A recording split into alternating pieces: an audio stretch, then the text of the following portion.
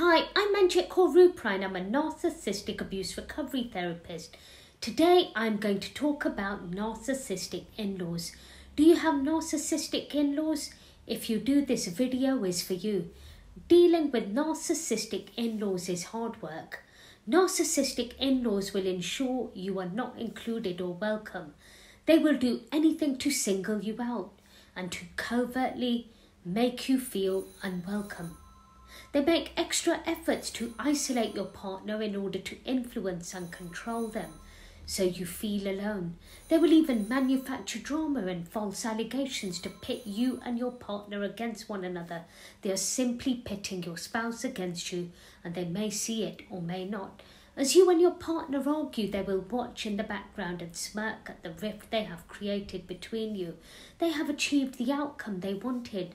Your in laws strive on the drama, and your partner is likely unaware that this is happening and may blame you or not for making an effort. It just depends on how much of a toxic dance they're in with your in laws. Your in laws will even use gaslighting tactics so that you feel you are going crazy. They say things and then deny it. As you react, you look like the crazy one if you call them out.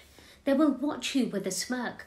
They turn every family member against you by creating false stories which further isolates you from everyone else. No one will believe you because they are that convincing. If you have children, your in-laws will try to turn those children against you by overbuying gifts, saying toxic things about you so that your child does not know who to believe. Alternatively, they will not pay any attention to you or your child, which means your child misses out on grandparent time. This is all to hurt you. It has nothing to do with your child or partner. It is all to hurt you. If you are dealing with narcissistic in laws, I hope your partner is on your side because it will feel like a battlefield. If your partner is not on your side and continues to blame you, you will have to review your marriage and whether it can survive. Your partner could be trauma bonded to their parent, or alternatively, you could be dealing with a toxic, narcissistic spouse. If you feel you can survive this marriage, limit contact with your in laws, cut the emotional supply, and grey rock. If you, you would like to know more about what I do, visit my website. The details are below. You might also want to get a copy of my book, Survival Guide for Toxic Narcissistic Relationships on Amazon.